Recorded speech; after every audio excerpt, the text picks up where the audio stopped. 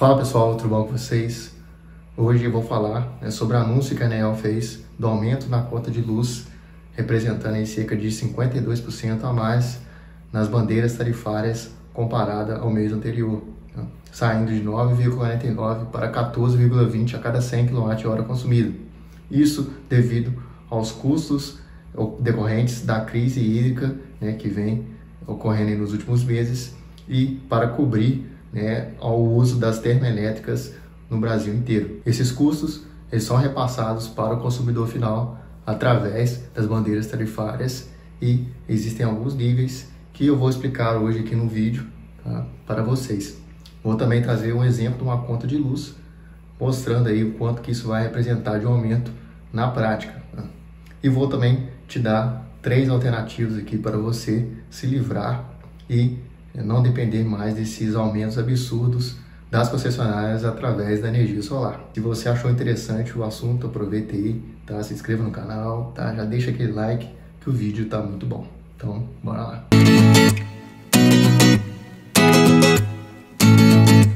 Bom, meu nome é Edgar e aqui mais um vídeo do canal Manual da Energia Solar. Hoje eu vou falar para vocês do aumento que ocorrerá, tá? No, já valendo a partir de hoje aí, na sua conta de luz. Tá? Aumento de 52% tá, da bandeira tarifária em relação aos meses anteriores. Esse aumento tá, das bandeiras tarifárias, como eu disse no início do vídeo, é em relação aos custos do uso das termoelétricas tá, para compensar né, a falta de água né, que vem ocorrendo nos últimos meses. Lembrando que nossa matriz energética é basicamente dependente das hidrelétricas, tá? mais da metade aí representa a geração de energia no nosso país. E quando né, ocorre é, crises como essa, as bandeiras tarifárias são acionadas e são repassadas para nós, clientes finais. Tá?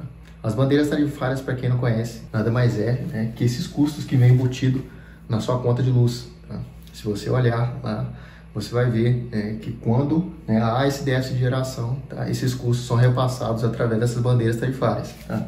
E existem basicamente três níveis: a bandeira amarela, a bandeira vermelha patamar 1 e a bandeira vermelha patamar 2. E o preço tá, por cada 100 kWh é, gasto na sua conta de luz, consumido. Então você vai pagar aqui tá, cerca de 1,87 para a bandeira amarela, cerca de 3,97 para a bandeira vermelha patamar 2, tá, patamar 1 e cerca de 9,49 tá, para a bandeira vermelha patamar 2 antes desse aumento, né, que agora vai passar para 14,20.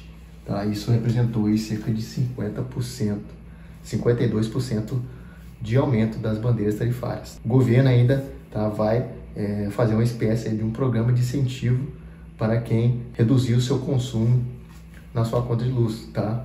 Cerca de até 20% de desconto vai ocorrer na sua conta de luz caso você consiga reduzir o seu consumo. Então, eu vou mostrar aqui para vocês na prática como vai ficar a sua conta de luz após esse aumento nas bandeiras tarifárias. Lembrando que aqui eu vou considerar tá, o meu consumo médio aí de 300 kWh, tá, numa conta de luz, a tarifa a preço de um real, tá, mas essa tarifa ela é variável de acordo com o tipo de distribuidora que você está. Ela pode ser maior ou menor do que esse valor. Eu peguei o valor médio aqui, um valor é, que está mais ou menos hoje por uma residência, tá? Está em torno disso.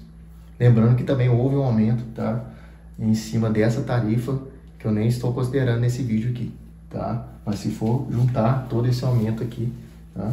É, houve um aumento aí de mais de 10% só do reajuste da tarifa. Na sua conta de luz também existe a iluminação pública, tá? que você também deverá pagar. Tá? Aqui na minha região é 24,07, tá? R$ 24,07. E a bandeira vermelha patamar 2 que estamos, tá? Que vai custar aí 14,20 a cada 100 kWh consumido. Ou seja, como é que vai ficar o meu custo da conta de luz após esse aumento? Primeiramente, o consumo, né? Meu gasto consumo vai ser 300 vezes a tarifa. Então, 300 vezes 1, 300 reais. Mais a iluminação pública, mais é, a bandeira tarifária referente a cada 100 kWh. Tá?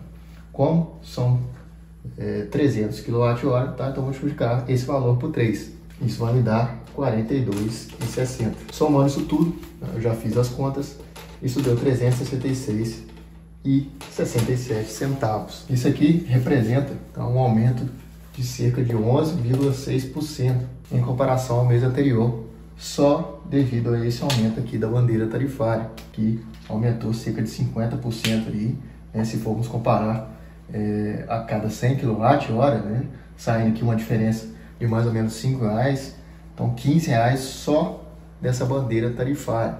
Lembrando que esse é consumo de 300 kWh, tá? Se o seu consumo for maior, consequentemente esse valor será maior e também esse aumento em percentual também será maior. Então, visto os custos né, da conta de luz né, e explicando aqui as bandeiras tarifárias, agora eu vou te dar alternativas para você né, escapar desse aumento aí que vem ocorrendo a cada dia mais, a cada mês, é, vem aumentando na sua conta de luz. E essa alternativa, essas alternativas serão usando energia solar. Vou te dar aqui três opções que eu acho das mais viáveis para você fazer e economizar o máximo possível. A primeira delas, fazer uma instalação em sua casa, tá, com uma geração local, onde você vai instalar um sistema fotovoltaico com grid, né, e nele você vai economizar um valor bem considerável, tá, reduzindo para o valor mínimo referente ao seu tipo de ligação, tá. Se no seu caso for ligação monofásica, você vai pagar 30 kWh,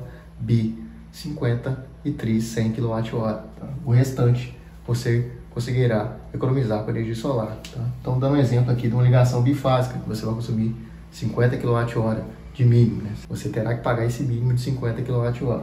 Ou seja, né, 250 kWh você vai economizar na sua conta de luz, né, que isso vai representar 250 reais, né, com a tarifa sendo real.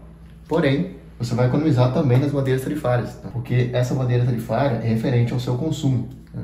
Se você sai do consumo de 300 para 50 kWh, tá? a sua bandeira tarifária, que será de 42,60, ela vai vir para metade aqui, que vai dar 7,10. Ou seja, né, além de você economizar 250 reais aqui do consumo, você vai economizar também cerca aí de mais de 30 reais né, só com a bandeira tarifária. Isso a longo prazo vai fazer uma grande diferença. E a segunda opção que eu vou te dar aqui, também usando energia solar fotovoltaica, também com a geração on-grid, só que dessa vez com o autoconsumo remoto. Tá? Caso você tenha um consumo desse valor para baixo aqui, tá de 200, 150 e quer fazer um sistema fotovoltaico que acha o investimento muito alto, tá? Você pode juntar com uma outra unidade, caso você tenha uma casa, né, algum comércio, tá? Basta que as contas de luz estejam no mesmo nome, você vai fazer um projeto só tá? e vai destinar o excedente de energia para essas outras unidades. Ou então você pode reunir com algum amigo, algum familiar, alguém de confiança que você possa colocar a, sua, a conta de luz no seu nome ou no nome do seu parceiro, tá? para que vocês possam fazer um sistema único né? e destinar o excedente para uma ou outra casa. Tá? Assim, né, você fazendo um sistema maior, você consegue ganhar escala. Tá? que os preços dos, dos sistemas fotovoltaicos costumam é, ser mais atrativos para quanto maior for o consumo. O seu payback costuma ser menor, né? o seu retorno do dinheiro é mais rápido.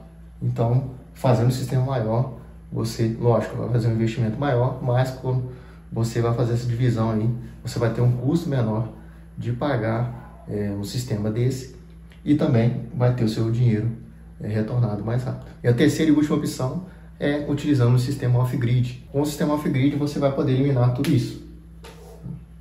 Sistemas off-grid você pode montar ele na sua casa né, com um banco de baterias e é, utilizar a energia do banco de baterias para todos os seus equipamentos. Você vai assim poder se desligar da rede e aí você não vai, vai precisar de pagar né, é, iluminação pública, nem consumo, né, nem bandeira vermelha. E você vai ter né, um sistema aí totalmente independente da rede. A desvantagem desse sistema, tá, em comparação aos outros, é em relação ao custo. Tá? O sistema off-grid costuma ser bem mais caro que o sistema on-grid, justamente por causa do banco de baterias tá, e outros equipamentos que demandam um custo maior. Além disso, você tem que ter um sistema muito bem dimensionado tá?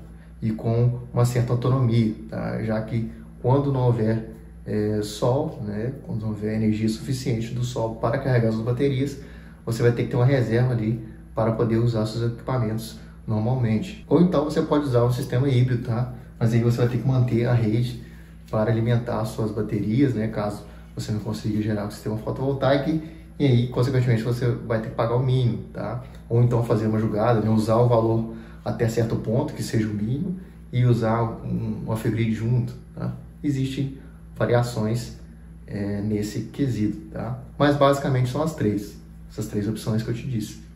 E também tá, existem outras alternativas tá, de geração fotovoltaica, né, como geração compartilhada, claro, que te dá 10 a 15% de desconto na conta de luz, mas não é tão atrativo assim como a geração local, né, ou auto remoto, ou então é, o off-grid. O importante é que você né, faça um investimento como esse, tá? invista em energia solar, que você vai ser beneficiado tanto de imediato como no futuro, beleza?